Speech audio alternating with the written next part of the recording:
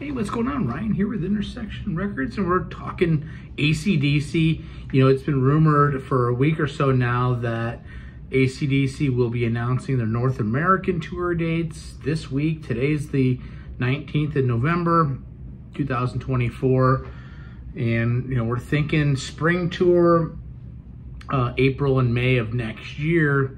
It's now being suggested and, and, and rumored from Skid Row frontman, former Skid Row frontman Sebastian Bach, uh, from a recent interview that there'll be at least 10 shows in North America for April and May of 2025. He also added that Guns N' Roses frontman Axl Rose will be joining ACDC on those dates. It remains uncertain and unclear whether Rose will be stepping in for Brian Johnson, as he did in 2016, or whether he'll be accompanying Johnson just on some songs. You know, when he stepped in, when Brian Johnson had his hearing issue on that 2016 tour, Axl Rose, with very little notice, stepped in and did at least a dozen shows and saved the day, learned the material, and it was also, you know, looking at those tapes, I watched a Philadelphia show. Um, how good Axl sounds, especially during the doing the Bon Scott stuff.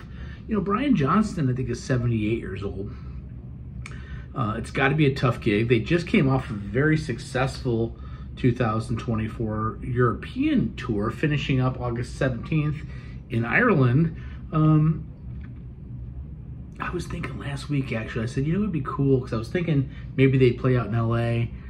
Axl's, you know, out in California. Wouldn't be cool to see them at that big football stadium in LA? And maybe Axl would come out and do some of the Bon Scott era stuff with Angus Young and Steve Young, new drummer Matt Laug, and new bassist Chris Chaney, replacing longtime bassist Cliff Williams, Matt Laug replacing Phil Rudd, of course. Uh, wouldn't it be cool if he came out and did some songs with ACDC? Um, I don't know if this is true. I hope it's true in this sense that Brian Johnson is going to do his stuff, uh, his his normal show, and then maybe he's, you know, maybe you have Axl step in for half a dozen, or even three or four Bon Scott era songs where he can spell Johnson, give Johnson a little breather, scream those those Bon Scott era songs, and uh, get a little taste of what that's like on a on a U.S. tour. I don't know if any of this is true. I, Sebastian Bach has has been right about rumors in the past. He's also been wrong about rumors in the past. He certainly loves to talk, and I can only imagine. I'm feeling like this is going to happen. I don't think Sebastian Bach's going to just bring that up again. I hope nothing's wrong with Brian. I hope Brian's going to be able to to rise to the occasion and do the tour.